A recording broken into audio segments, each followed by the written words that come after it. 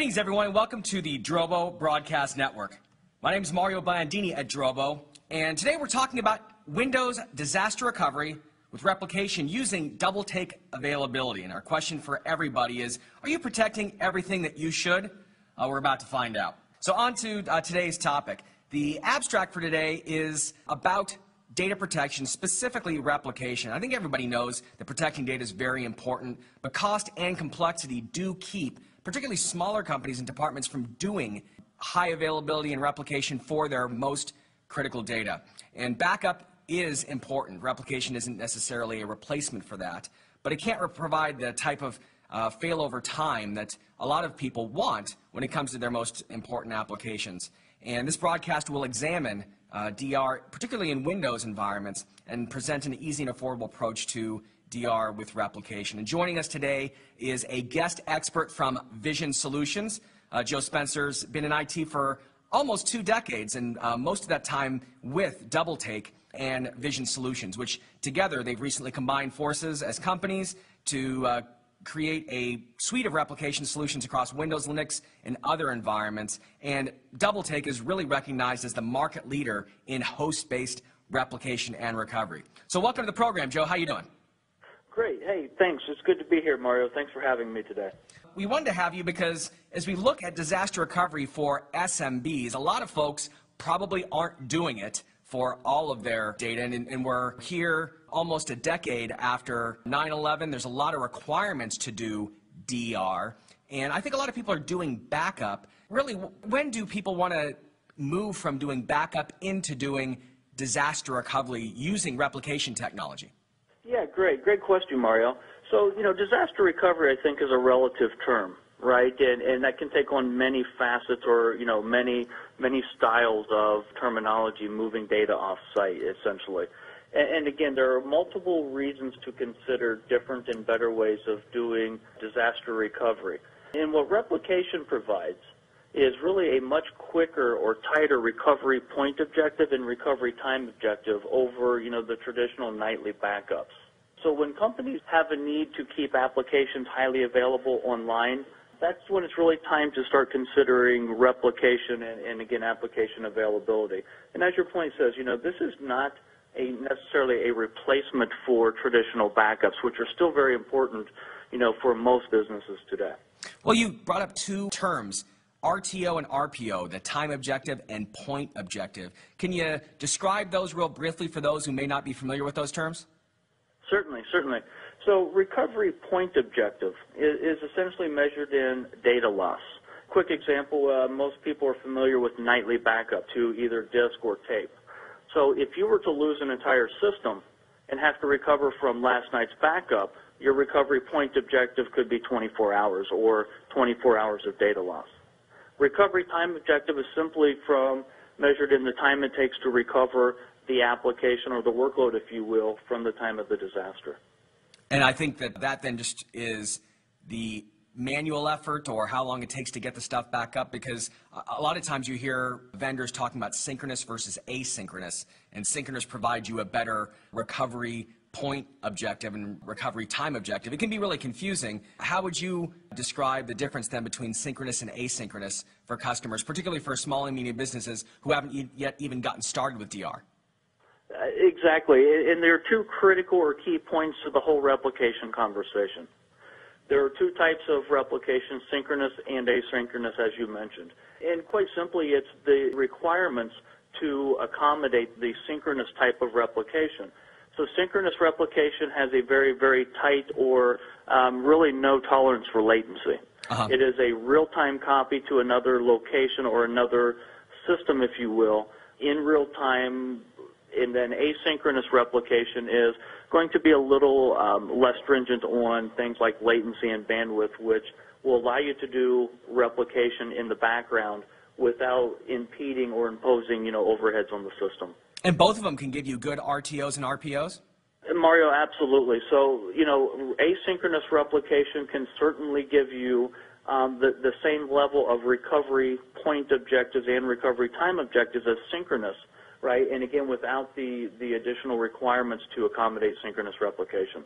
Well, at uh, Drobo, we're always asking folks to think about shared storage when they may have previously been in a, a direct attached storage model or uh, using some sort of other technology. And uh, we feel that from a disaster recovery perspective, uh, having shared storage provides a lot of flexibility in that you have your storage pooled in, in one environment and you can better protect it being in one centralized place. And it also allows, as we'll discuss here uh, later on in the presentation, for a robust site-to-site type of solution as well. So as we go here to the next slide to compare the different approaches, uh, there, there's pretty much three buckets, uh, if I understand it correctly, Joe. You have the server-based or host-based replication, an appliance that's in your SAN, or the disks themselves that replicate. And all three of them can do the job. Maybe you can uh, contrast some of the differences between the technologies. Certainly, absolutely. There's even maybe even a fourth bucket, which is a little smaller, which would be even application replication, which some applications have this technology built into it. Oh, correct. Yes. So, yeah, absolutely. So, so depending upon you know the the environment and the requirements, each of them have you know really a play that that makes sense for you know individual customers. So with host-based replication, it can be you know real time or very near real time. Again, with that that very tight recovery point objective. And again, it's it's it's typically software based, and it's typically hardware independent. Then again, you have your SAN to SAN replication, which again is near time um, or or very near real time and that can take two forms in the form of synchronous and asynchronous. And then again, disk-to-disk replication, which is near real time. And the differences are typically host-based is a lot more flexible in the configuration, where SAN or SAN appliance replication is usually pretty tight in the fact that it takes identical devices that can replicate to each other. So now you're doubling your, your potential hardware cost or purchase just to create SAN-based replication. And equally with disk-based replication, first you have to support it, or, or the, the hardware has to support it, and then typically they can only replicate to each other as well. Well, some of those constraints, Joe, have been the reason why a lot of uh, smaller departments or smaller companies haven't been able to do DR. We show the entry cost, meaning the smallest possible configuration you can procure to get a solution that does DR. And host-based replication offers the most affordable entry price for getting into a configuration. Is there anything that uh, you're getting from a, a SAN appliance or a disk replication that you can't otherwise get from a server-based or host-based replication? Um, that's a great point. So typically, you know, the host-based replication will provide all of the same level of functions, recovery time objective, recovery point objective, as, again, the appliance-based or the disk-to-disk replication. And, and, again, as your graph shows, it, it's typically, you know, per server going to be um, a lot less money. Mm-hmm. And it's going to give you, again, you know, as, as again, as your um, as your graphic depicts recovery times in, you know, anywhere from less than an hour to around 10 minutes um, for recovery time objectives. So again, you're going to get a lot of the same recovery point and time objectives from host-based replication. It offers uh, good scalability, if not very good, compared to the other solutions. And from a management perspective, I know that it might be per server. In small environments, that doesn't pose uh, very much of a management overhead. In the case of uh, your application, uh, DoubleTake, Joe, the management, even if you have several instances across several servers, is still fairly straightforward. Absolutely. So, you know, the, the, the management or is, is really centralized with, again, DoubleTake in the host-based arena. What is per server, again, is, is the configuration and setup of each individual host replication and failover. The overall management can be or is from one interface, and the scalability is very good. You just need to add appropriate licenses as you bring new servers into this tier one replication and failover environment. And we'll talk a little bit more about the specific configuration, how you put that together. But smaller companies have historically been roadblocked from a lot of these capabilities because of the entry cost. And today's broadcast aims to bring you with some information on how you can put an affordable solution that's also easy to manage uh, together. So I appreciate you uh, helping out, Joe, talking about these topics with your expertise. From a basic architecture perspective, there's not a whole lot of components that you really need. A lot of the stuff you may already have in your environment, correct? That is correct. In, in, in a lot of cases, you know, again, with the longevity of DoubleTake software solutions in the Windows and, and arena, you know, a lot of times we used to see before virtualization and before things like Drobo that, that come into, you know, an affordable price range for a lot of SMB customers. used to be that customers would literally cycle their old production servers to DR and then bring in, you know, the, the latest and greatest hardware to replace that production server. Again, they were just shuffling hardware, and nine out of ten customers already have this equipment in place. Right, and that hardware independence of the host-based approach enables you to recycle that hardware in that case. Correct, Mario. Absolutely. And, and in some cases, you know, as I can lay out examples from a double take solution perspective, is we can even assist in, you know, making these migrations real time from old hardware to new hardware.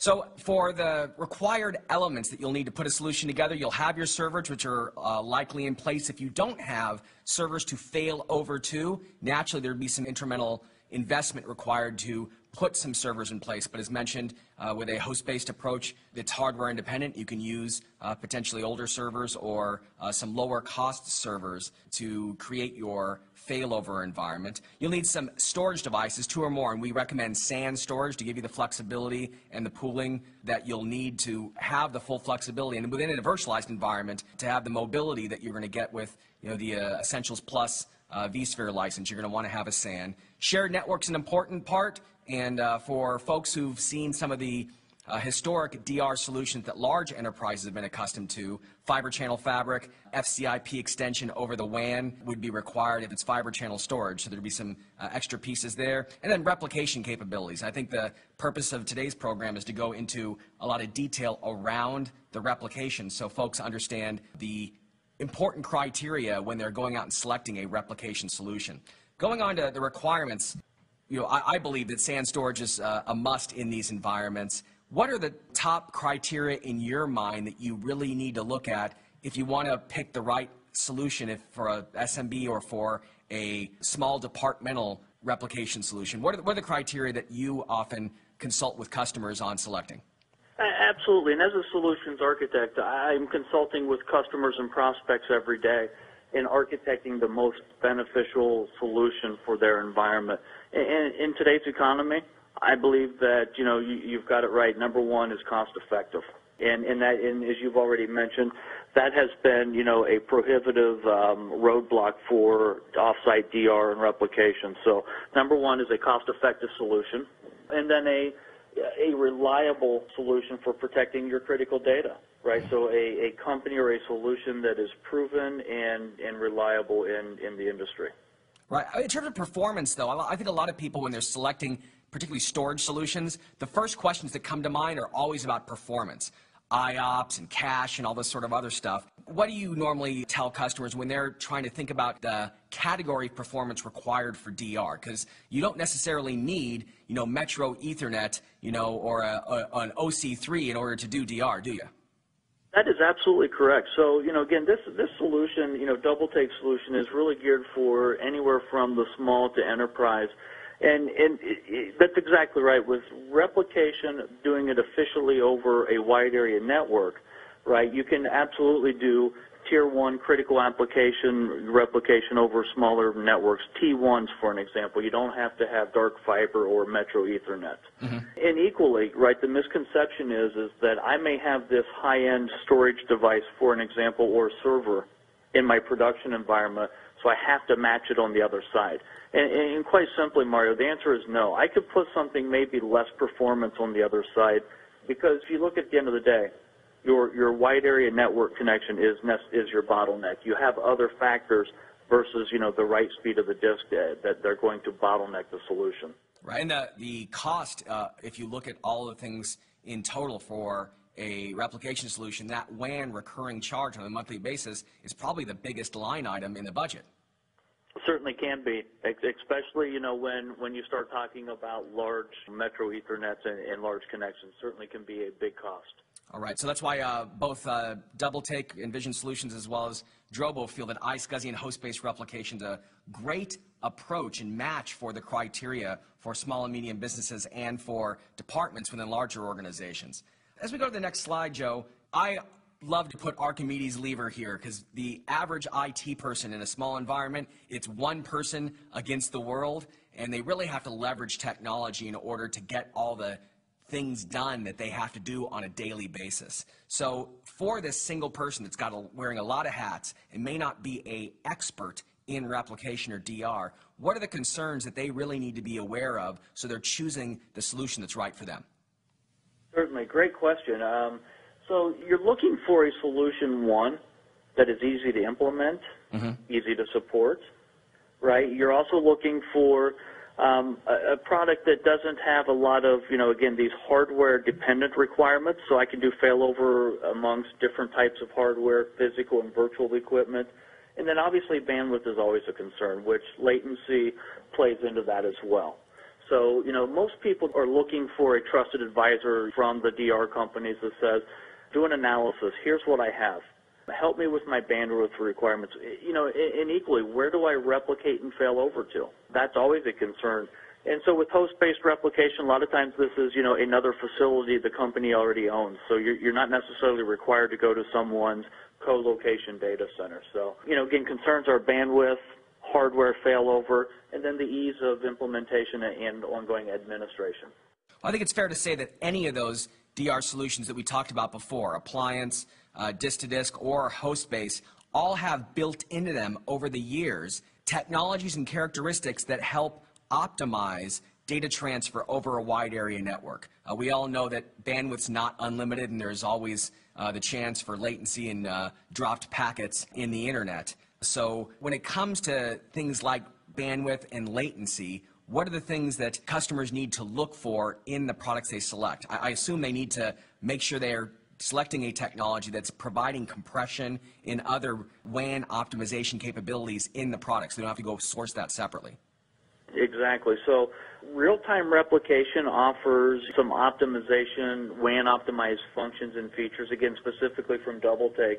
So when choosing a solution, is it real-time replication versus snapshot based replication versus, you know, is it, is it application journaling or log shipping, which is, again, built into some applications. So you're looking for the most efficient replication engine that you can find.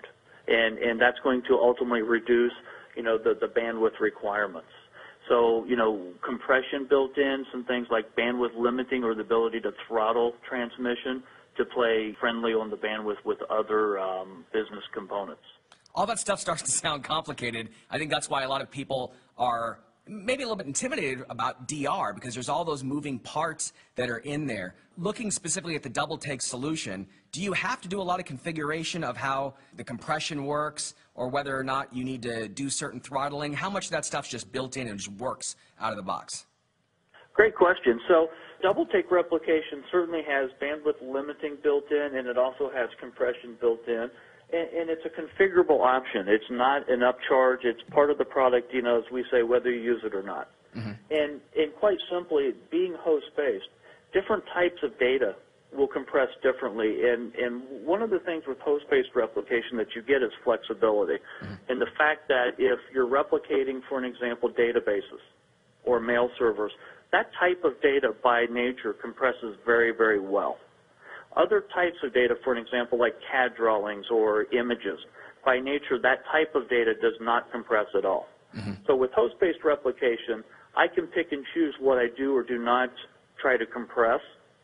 And then obviously, and based upon importance of systems and or the WAN environment with DoubleTake solutions, you can also enable this bandwidth limiting. So, you know, you, you can tell it to only use a certain percentage of the wide area network during business hours, maybe a different percentage after hours and weekends. And that type of stuff's readily available through the GUI. There's not a lot of uh, complex configuration there. I guess my question would be, for someone who's never done DR before, uh, is it something that the average person can do, or do they need to hire an expert in order to be able to implement that? Certainly, Mario. Um, with DoubleTake, uh, all, all of the configurations can or are wizard driven. So you're really plugging in when you set up protection for a specific system, you're plugging in the compression values while you're building the job. You're setting up things like the bandwidth limiting while you're building the job. So it's a one-time configuration. You, you set it and really you forget it. Fantastic. And you mentioned before that hardware independence uh, certainly is important. This is for physical and virtual. These technologies, uh, while we talk about them in general, apply equally to physical servers or virtualized servers. That, that's correct, absolutely, and, and and even you know farther down, uh, physical, virtual, and even different makes and models of physical equipment. So, and, and also storage. So completely hardware independent. Um, with a double take solution, again, it's it's an agent that installs into a Windows operating system or, or Linux, as we mentioned, some other flavors. But with, with double take, it's, it's agent based or software based. Whether the, the system on either side of the equation that we're replicating from or to is physical or virtual. All right, that's a great segue to how replication works. We're showing here a diagram of uh, how the operating system is built on top of the hardware layer and the double take software as a host-based replication fits between the file system and the operating system and does the work to transmit the data across the WAN and keep the data synchronized. That, that's correct. There's a really a couple key points to this slide. One is um, it's software based. So the four blocks, as you mentioned, are the way that the software recognizes a Windows server, whether it's physical or virtual. Um, and, and, the real magic here for, for DoubleTake is this real-time replication engine, which is also known as a Windows filter driver. Mm-hmm. And what it allows the software to do is only see the writes. So, so if you kind of step back and take it from the beginning, the way DoubleTake solution is implemented is the software is installed on both sides of the equation. The system we're protecting, the source, and the system we're going to replicate and fail over to, the target. It is IP-based replication, so as long as you have a routable IP address between the two systems, DoubleTake can replicate to or from it. It can be a point-to-point. -point. It could be over the internet, which is unsecure, or more likely or most likely a VPN, a point-to-point -point VPN over the internet, which is secure. When you set up the job, because DoubleTake allows you to get very, very granular in your replication scheme, meaning I could I can select individual files or folders or volumes or the entire system. Unlike the other technologies, SAN appliances and disk to disk, it's really an all or nothing. If the data is on the disk that's being replicated, it goes across the wire whether you want it to or not. With DoubleTake, you can get very granular in what you do or do not replicate. The, the key factors here in real-time replication is once you select the data or the, the, the replication job, there's this initial mirror or sync of the data that takes place one time. Mm-hmm. And this is really the differentiator. Once that initial data sync is complete, it's replication or moving of just the byte level changes. Our, the, the filter driver is able to see all writes that happen on the Windows system, and it's able to determine one, is it a write versus a read, and two, is it a file, is it a change to a file or an area that you're, that you've configured DoubleTake to protect? Two positive confirmations or a yes and a yes, and it replicates just the changes and applies the change to the file on the other side. And it does that with the uh, compression and the bandwidth limited capabilities built in to uh, keep it you know, very sustainable, allowing you to do it over a less than giggy net network, right? You mentioned T1 and uh, can often be fine.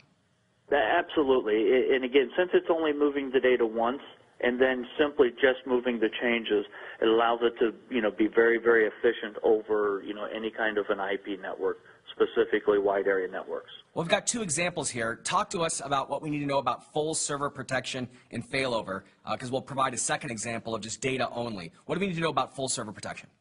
Certainly. So a, a little history. DoubleTake started in the Windows market, again, way, way back 17 plus years ago in the early NT days.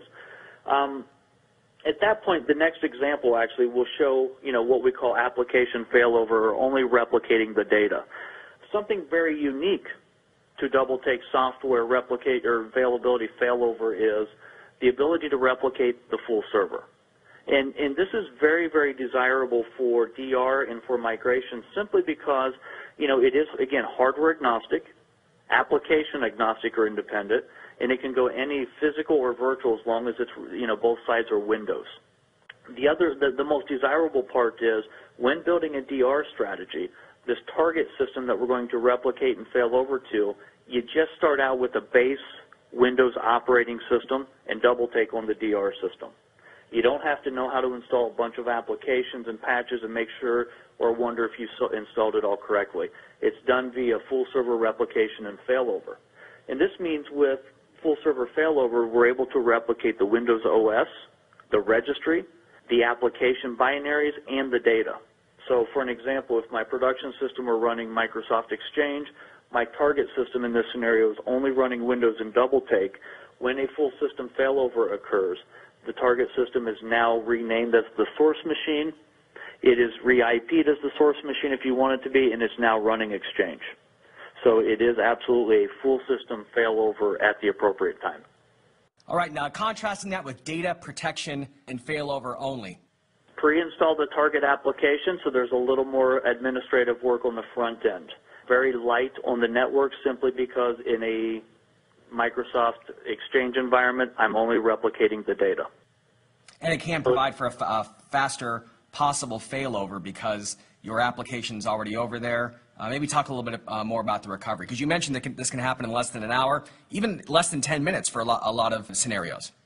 Exactly. So equally a part of the software, regardless if you set it up for full server failover or the data protection only example here, is when we have a failover mechanism or monitoring option that takes place. So when a failover is initiated, either automatically or manually, DoubleTake in this case will literally start the SQL application as we've, as we've established. It's already installed and turned off. At failover time, the, the application is turned on, and then the users are redirected to the target system. So from the time you say yes to failover the time it takes SQL to start and come online is really effectively your failover time, matter of minutes. Great. I think that's the type of service level folks are interested in, which is why they want to do DR. Uh, as we put it all together here on this slide, it shows you an example of doing DR with 16 terabytes of SAN and replicating between servers across your corporate IP network within a site, a campus, or between sites. Uh, the replication software, as Joe mentioned, is installed there as part of the virtual machine servers or physical servers and replicates between uh, the two sites. We're giving you an example here of what array-based replication might be. A fantastic solution if you can afford it. It's one of the nicer type of technologies to use, disk-to-disk -disk replication, but even in its smallest possible configuration here, we're seeing that uh, it's over 50,000 US, in this case, 60,000 US just to buy two storage arrays that are capable of doing that disk-to-disk -disk replication. For SMBs and departments within larger organizations, you can do, using double take availability and Drobo Elite, the same amount of storage and the same replication capabilities between uh, two servers running five VMs at a cost of about $22,000 or 63% less expensive. And for the millions of folks who cannot afford uh, some of the higher cost storage solutions that do DR, there is double take with Drobo.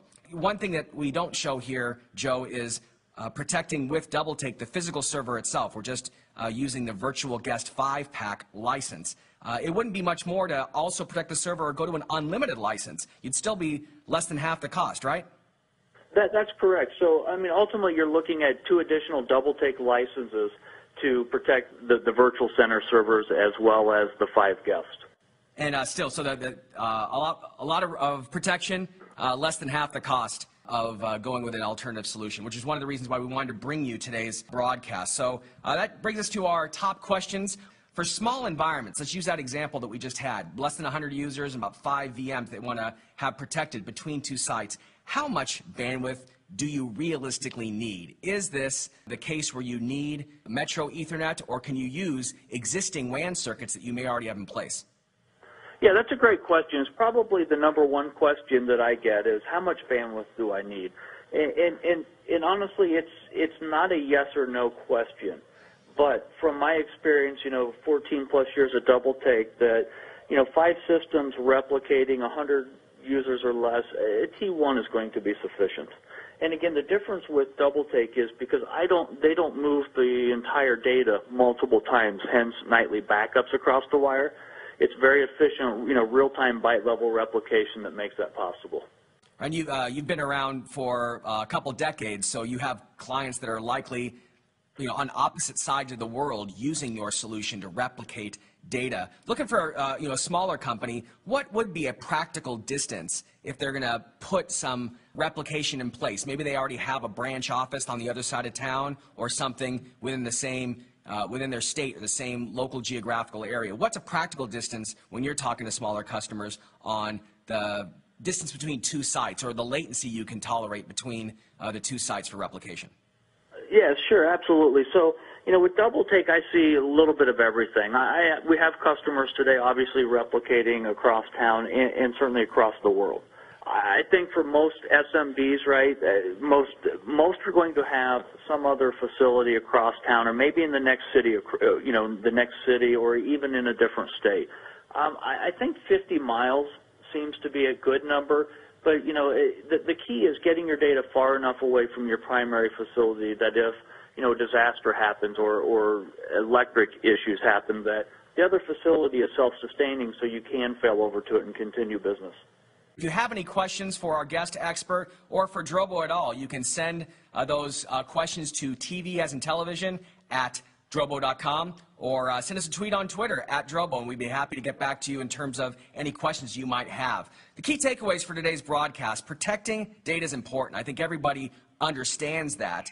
If cost or complexity has been a limiting factor in you or one of your customers or your uh, colleagues being able to do the type of DR to get the recovery time and reporting objectives that they're interested in getting, there are solutions, as we've discussed today, from a host-based perspective as well as iSCSI SAN solutions from Drobo that allow you to lower that entry cost to do uh, disaster recovery.